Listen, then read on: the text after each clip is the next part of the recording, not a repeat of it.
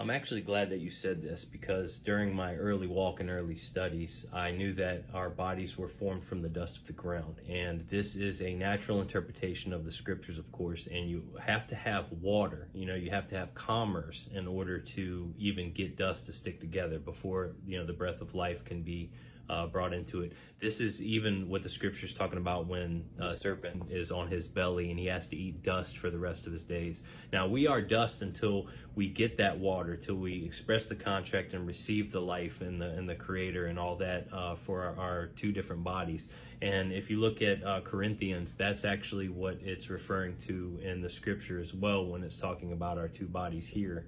Now in the Old Testament, we're known as tabernacles, mobile places of worship. But here in Corinthians, it says that there is a natural body and there is a spiritual body. And it also says that the first man is of the earth, earthy. The second man is the Lord from heaven. Way back in my early walk, you know, having this knowledge that my body is of the earth and of the land and stuff, I did something called uh, deed of transfer. That's what this is right here. I did this back in 2018 and tried to take the U.S. citizen out of control of the state. And after getting some foundational understanding of knowledge, that's when I basically came to realize that this is not the title to my body right here. This uh, commercial entity right here is not me. It is not titled to my body. You know, this commercial body is just something used to interface with the dead and the public, you know.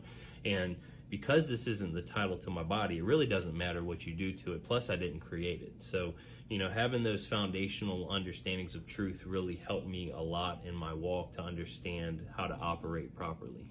So having foundations to build and grow upon helps me out a lot when I'm trying to decipher all of the jargon that's going on. And so when I look at Minnesota Rule 220, it helps me to understand that this is all about land titles and how a registrant who is of the age of 18 is able to be identified for a land title.